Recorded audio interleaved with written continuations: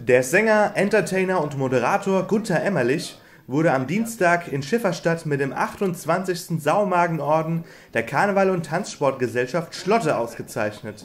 Die Laudatio hielt Ministerpräsidentin Malu Dreyer, die Ordensträgerin des Vorjahres. Als der erste Kontakt äh, hergestellt wurde, habe ich gedacht, die wollen dich veralbern. Gibt es ja sowas. Ja. Ne? Hätte ja sein können. Aber nein, ich weiß mittlerweile, dass ich, dass ich also namhafte Vorgänger habe.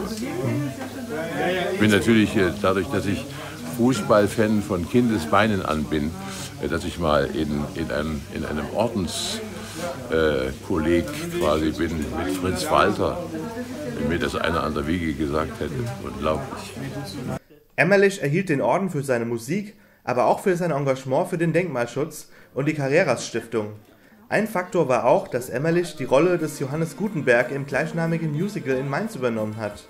Auf der Bühne steht er dort übrigens neben Margit Sponheimer und Helmut Markwort, die ebenfalls einen Saumagenorden haben.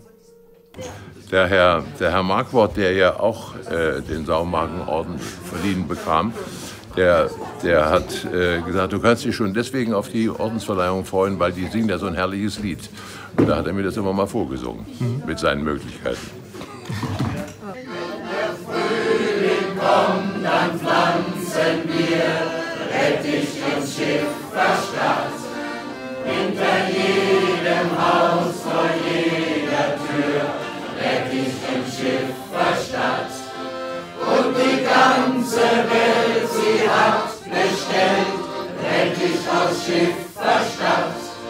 Es gibt große, es gibt kleine, es gibt Schafe und auch Feine, ja in jeder deutschen Stadt kennt man Rettich aus Schiff verstanden.